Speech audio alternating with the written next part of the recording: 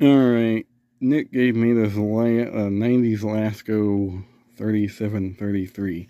He found it on the curb, I guess. In a trailer park. And the motor's pretty grimy looking. I took the back grill off.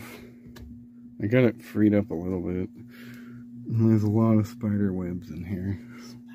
And it's got a big dent in the side. I figured I'd fix this up and use it as a garage fan or something. But it does run. Only on high.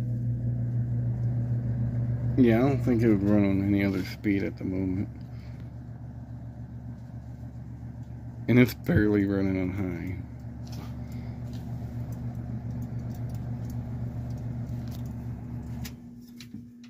That's medium. that's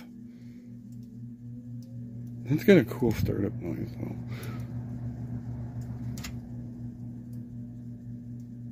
It is bare, I, I, I'm afraid to know what low does. it's going, but not really well.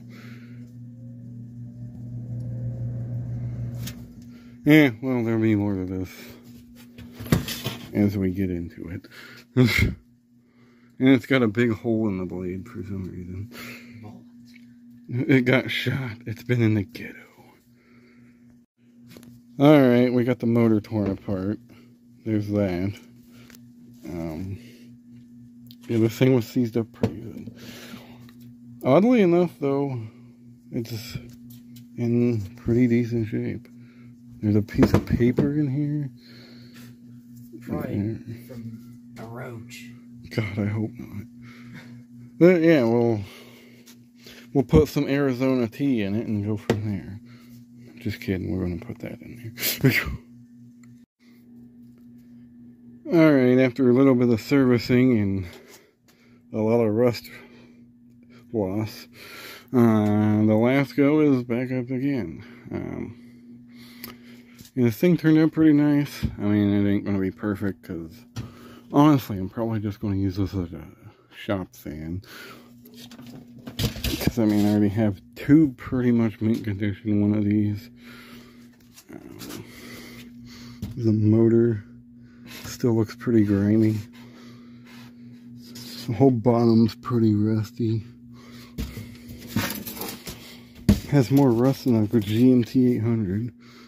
It's a 96 to 97 model. Model 3733. It did have its original feet, but one of them broke, and I just didn't want to mess with it. So yeah, we'll start her up on high.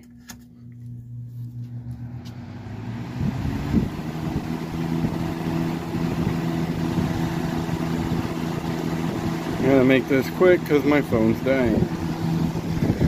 It was drawing 1.9 amps, 171 watts, high, medium. I mean, we've all seen these run. This run runs about the same as they all do. 120 watts, 1.34, yeah, and low. 1.03 amps and 90 watts. This thing actually turned out pretty nice. Run it back on high. And OFF spells off. Alrighty. So we'll close this one out. Uh, thanks for watching. Hope you enjoyed and have a good one.